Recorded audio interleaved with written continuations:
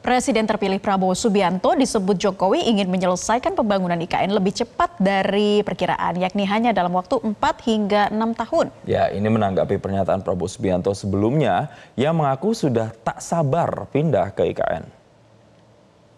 Pemirsa hal ini disampaikan Presiden usai meresmikan sumbu kebangsaan di IKN pada Rabu pagi.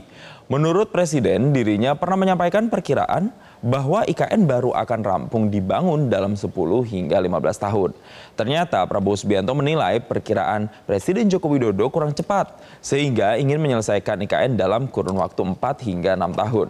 Presiden mengaku masih akan memprioritaskan investor dalam negeri untuk pembangunan IKN Sementara setelah 20 Oktober, arah pembangunan IKN akan ada di tangan Presiden terpilih Prabowo Subianto.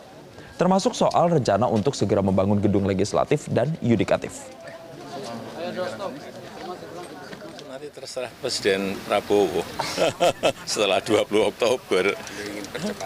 Ah, saya menyampaikan apa itu pembangunan ibu kota Nusantara ini mungkin bisa 10, 15 atau 20 tahun. Beliau menyampaikan, wah kalau saya kurang cepat itu 4, 5, 6 tahun. Nah, ya nanti terserah beliau.